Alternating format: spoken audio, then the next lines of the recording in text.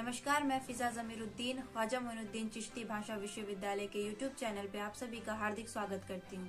ख्वाजा मोइनुद्दीन चिश्ती, भाषा विश्वविद्यालय लखनऊ में माननीय कुलपति प्रोफेसर एनबीन सिंह के मार्गदर्शन में पत्रकारिता एवं जनसंचार विभाग की प्रभारी डॉक्टर रुचिता सुजाई चौधरी के आईसीएसएसआर स्पॉन्सर्ड प्रोजेक्ट के अंतर्गत gender sensitisation through Beti Bachao, Beti Padhao, a road map for social change विषय पर कार्यशाला का आयोजन हुआ। इस मौके पर कार्यशाला में बहुत ही खास हस्ती, joint secretary, directorate of family welfare, doctor Ashwin Kumar, and state technical coordinator of UNICEF Shri Javed Ansari and expert PCN PNDT act form of directorate of welfare Lucknow से श्री पंकज भसीन उपस्थित रहे।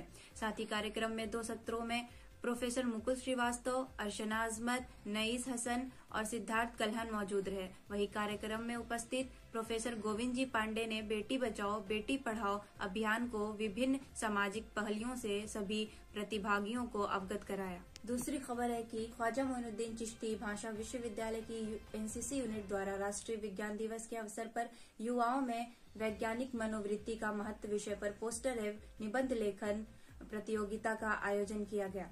वहीं अगली खबर है कि भाषा विश्वविद्यालय के अटल सभागार में विश्वविद्यालय के माननीय कुलपति प्रोफेसर एनबी सिंह के दिशा निर्देशन में संवाद नामक कार्यक्रम का आयोजन किया गया। कार्यक्रम में विश्वविद्यालय के छात्र एवं छात्राओं के द्वारा विश्वविद्यालय के लोकपाल महोदय के साथ परिसंवाद स्थापित किया गया।